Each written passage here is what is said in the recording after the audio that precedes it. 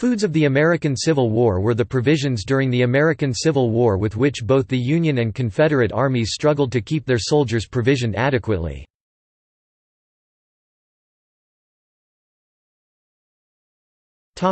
Northern rations According to Hardee's Rifle and Light Infantry Tactics, written by a U.S. Army officer from the South before the war, the rations for a soldier during this time usually included 20 ounces. Pork or beef beef was either fresh or salted, and pork was always salted. 12 ounces, hard bread in camp or garrison or 16 ounces, of hard bread at sea, on campaign, or on the march. 1 ounce, compressed cube of desiccated mixed vegetables or a 1.5 ounces, compressed cube of desiccated potatoes. If supplemental foods were unavailable this would be supplemented by per 100 rations. 8 quarts, of beans or peas 10 pounds, of rice or hominy 10 pounds, of green coffee beans or 8 pounds, of roasted coffee beans 10 pounds, of sugar 2 quarts, of salt 1 quart of vinegar The most common field rations issued to individual soldiers were salt pork and hardtack, both of which were designed to withstand field conditions without deteriorating. Excess salt could be scraped off the meat to supplement the salt ration. However, these rations required cooking to make them palatable.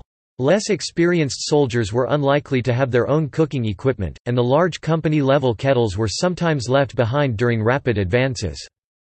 Food often became infested with insects, especially rice or grain weevils. This, along with scarcity and inedible rations, made it necessary for soldiers to supplement their diets on their own. Soldiers could obtain a greater variety of foods by foraging and or raiding, receiving food boxes from their families, or purchasing, trading items with other soldiers. Soldiers could not count on obtaining food from the inhabitants of areas where they encamped since most citizens were also affected by the war and had little to give. If inhabitants supported the soldiers' side in the war, sometimes they might manage to provide food, but it was usually acquired by theft. Gail Borden's invention of condensed milk was very helpful in for the Union Army.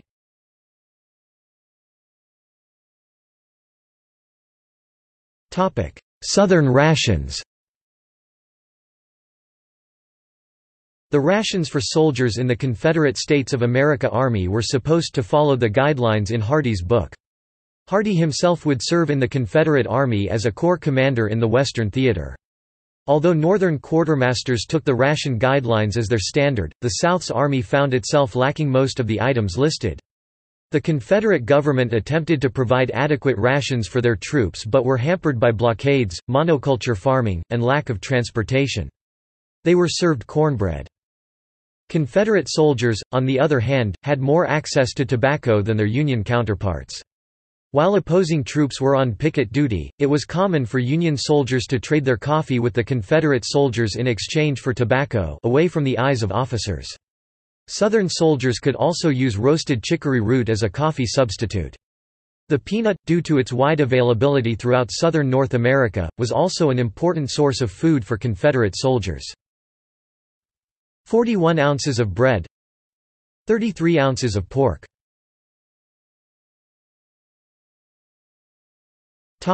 Logistics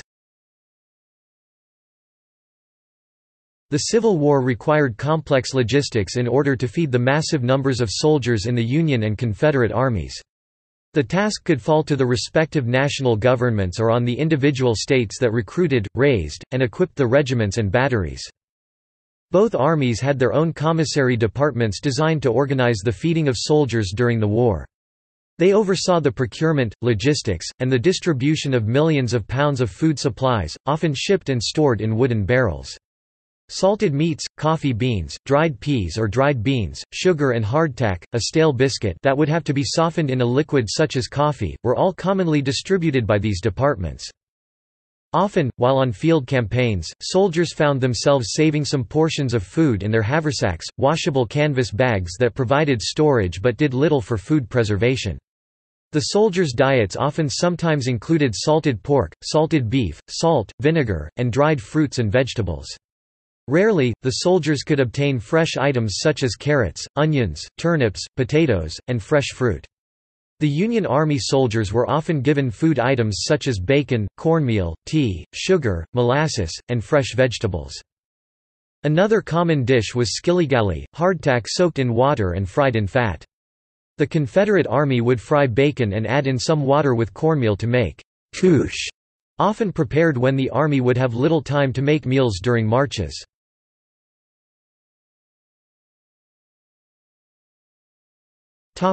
Beyond the battlefield Beyond the battlefield, the scarcity of food was felt far more sharply in the South, a result of the success of Northern blockades. Northern cookbooks of the period barely make mention of the war. In the few Southern cookbooks published during and shortly after, the fact of shortages is inescapable.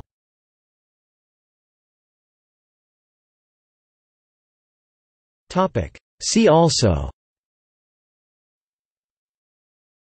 History of military nutrition in the United States List of military food topics